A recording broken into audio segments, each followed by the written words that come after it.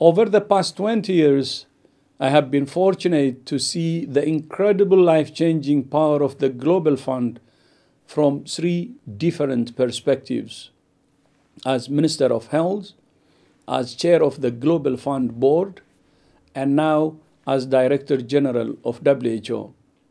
In each case, I have seen the transformative impact the Global Fund has in the lives of individuals, families, communities, and nations. In Ethiopia, the Global Fund didn't just help us fight three diseases, it helped us to build primary health care. As chair, I had the honor of leading the Global Fund through a period of reform which has helped put it on the path for continued success and impact.